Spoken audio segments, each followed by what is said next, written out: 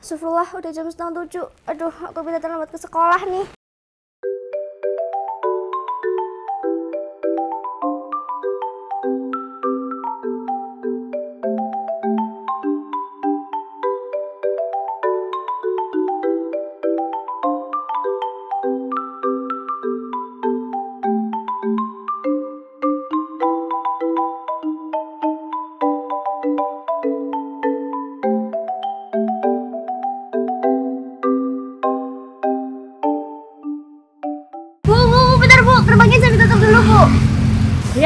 Dara ini jam berapa? Kok kamu telat?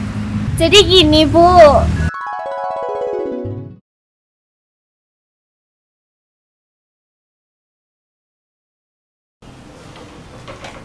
Dara, tidur nak.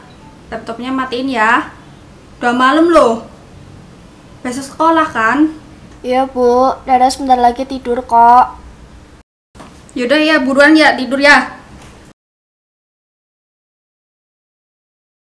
Tanggung ah, masa nonton setengah-setengah?